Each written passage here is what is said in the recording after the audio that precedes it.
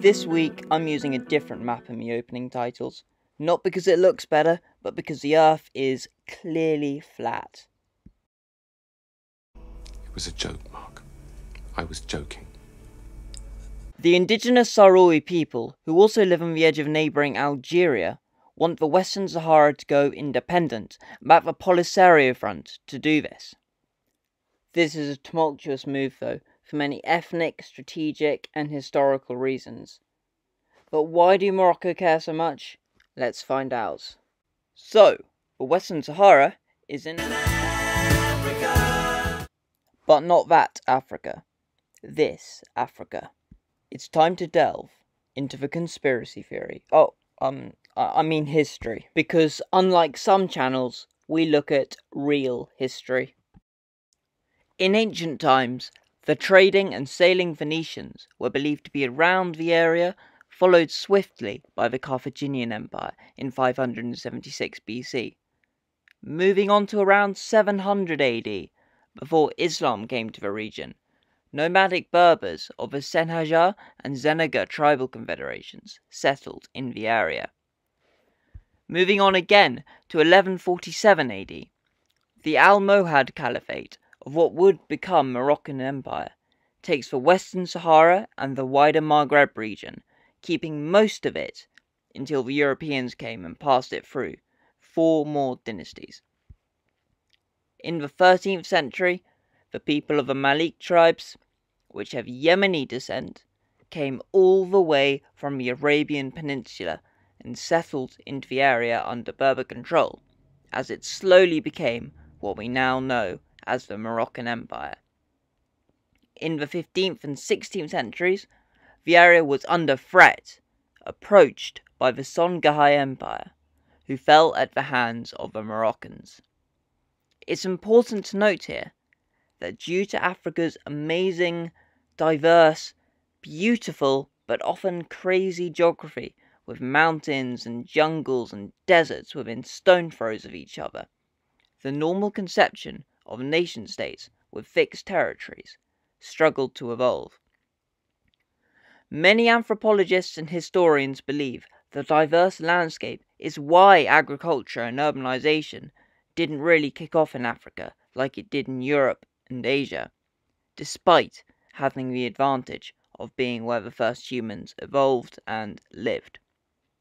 This is why so many African tribes were nomadic, and African empires that expanded beyond city state status would often have complicated multinational systems of governance and some extraterritorialities.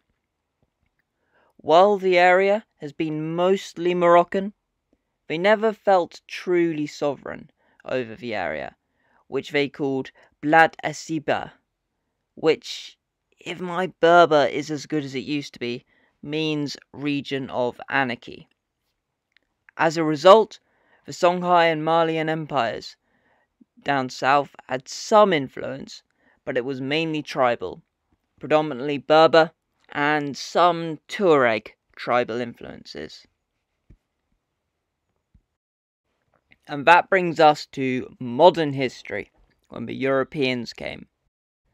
In 1884, at the Berlin Conference, all of Europe's greatest line drawers sat down together and drew many wonderful straight lines. This event amongst straight line skeptics is known as the Scramble for Africa and was a huge sweep of organized and brutal colonization across the continent. Spain ended up getting the Western Sahara. After World War II, though, the continent was starting to be decolonized, which meant self determination for Africans. Although the boundaries of the South had already been determined by the Europeans. Spain were a bit late to the party though, so the UN had to pressure them a bit to decolonize by 1966. Only a bit though, they didn't want to give off the impression they were making a decision. The UN wanted a referendum to take place, and make someone else decide because they're so decisive and helpful. Morocco could see straight through the UN's cunning plan, though, and requested any referendum be delayed until the ICJ had made a ruling on the claims. At this point, all four of Mauritania, Morocco, Spain, and the Polisario Front. It's 1975, and it turns out the UN's plan didn't work. So Morocco decided to sort it out themselves and annexed the region after entering with the Green March, a peaceful protest that marched into the area saying it was a Moroccan land, followed by no doubt even more peaceful armed soldiers and artillery. This led to a war, of the Polisario Front, that lasted until a ceasefire in 1991. Spain couldn't be bothered with a war though, and agreed the Madrid Accords with Mauritania and Morocco, so by 1976 they'd formally desert the desert. Straight after this, in 1976, the Polisario Front declared the Western Sahara as a Sahrawi Arabic Democratic Republic and they then make peace with Mauritania in 1979 and hand over their claims to the Polisario Front. Back to Morocco in 1979.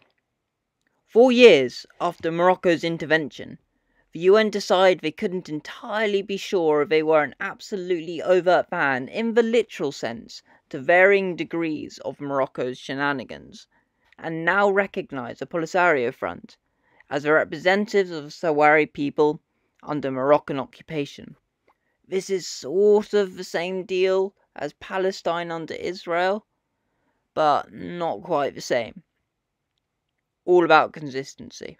In 1981, Morocco started building a wall along the border of their bit of the Western Sahara and turned them into the southern provinces. The other side, the Polisario bit, is called the Free Zone and in the eyes of the Moroccan government is untamed desert and basically anarchy once again. The Polisario Front then joined the African Union in 1982, another useful talking shop, trying to integrate vastly different countries. Morocco then leave and protest, so it looks like there will be no more pointless meetings for them. Polisario Front president, Mohamed Abdullah becomes Vice President of the African Union. 2002. The President, Mohamed Abdullah becomes Vice President of the African Union. Again, it almost seems like these supranational unions are running on broken records. 1992 saw the settlement plan, and 1997 saw the Houston plan come and go, trying to organise referendums but failing as an exciting international declaration was made.